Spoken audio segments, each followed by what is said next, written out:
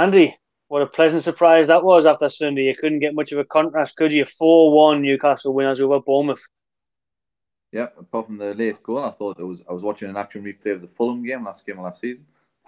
Pretty much identical, wasn't it? It was uh, it was incredible, really, to think that you know we haven't really got anything to play for, and they're fighting for their lives. I mean, it was it was a bit of a whimper rather than a battle, but you you take it, and it means that we're you know guaranteed safety, and we can look up. Mm. You say we haven't got anything to play for, Andy, but uh, there's an outside chance of Europe, yeah, mate. Well, I was looking at the fixtures again, and um, obviously Man City away, you're pro- probably going to lose that.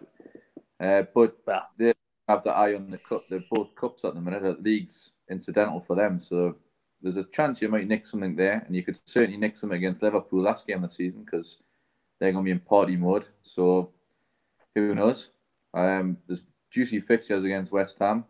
I think the drop points against Villa now are looking um, looking like we might rue them. But whatever happens, I think. I mean, realistically, I think you know Everton, Arsenal, Tottenham, they're all going to finish above us. It's a very, very much a long shot, but you never know. Do it's just enjoy the rest of the season and um, try and establish who's going to be kept for next season and who can, who can stay fit as well. I think.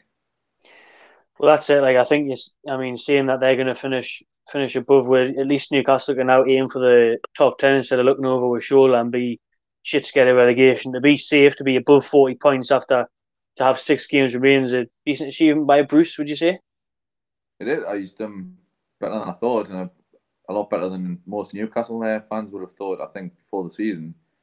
Um, I mean, we've beat we've rolled our luck at times. It hasn't. It certainly hasn't been pretty, but it hasn't really been any less pretty than than under Rafa. I don't think. Um, it was pretty tonight, though, wasn't it? Very pretty tonight. It was fantastic performance tonight. It was, uh, it was so open. I don't think you'll get that much space in it being so open against most sides, but you can only play what's in front of you. And given that they've they've certainly got stuff to play for, I think, I think it was a great performance. I think Sunday still leaves a little bit of a nasty taste in the mouth. I think the mm. way we performed and you know how you can't put two passes together. I think we're just overawed by the the stature of the opposition on Sunday, and I think we didn't really give it a go, which is the frustrating thing. I mean, I, if we'd tried to play like tonight, we probably would have been ripped open. We could have been a bit more savvy, but having to go at them and getting beat four or five nil, I would have uh, been a lot happier than what happened the other night. So, Dwight Gayle tried to get rid of that taste in your mouth though by scoring the night, try to make amends, didn't he? Gave it one of them. Bit cheeky. One nil up after five minutes. It's cheeky. I mean, I wish he'd scored the other one instead, but you know that's you can only. I mean, he's he's going to be disappointed with it, and he it was a good, great finish. To be fair, Saint Maximin ran the show. I think he had a very disappointing first half against City, but so much pressure on his shoulders when he's the only one in the half at times against Man City. So I think he, he had a lot more people helping him out. I think um, Shelvey was superb tonight. Um, I think he had the freedom of Bournemouth, but you know why he didn't play. I'm scratching my head why he didn't play on Sunday because mm. I called before the game. I thought that if we were going to have a remote chance against City, we needed or star sort of flair players to perform, and Shelvey was, certainly would be one one the first in the team sheet if you want to create chances. And because it's he's played the full ninety tonight as well, so it's not as if you'd think he was injured on Sunday or, or that done for, where he couldn't have at least made a cameo appearance against City to play 90 minutes tonight and look as sharp as he was. He was still sprinting in the last minutes. Yeah.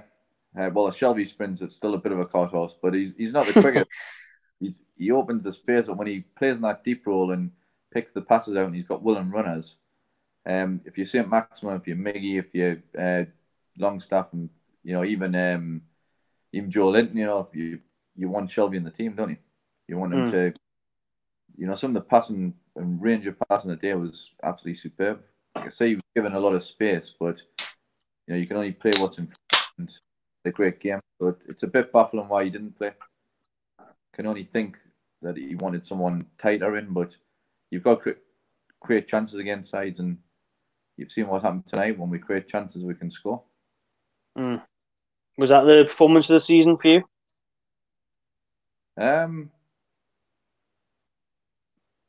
possibly in terms of the the flair. But I think earlier in the season, I think that you know had a crucial, probably the Man United one 0 I think was um was Steely, and uh, just at the right time. And I think, but in terms of enjoyment, um, you know, we can enjoy tonight because we weren't really under pressure. We could have lost the game; it wouldn't have really mattered. Um, so to win it's just a, a Brucey bonus, literally.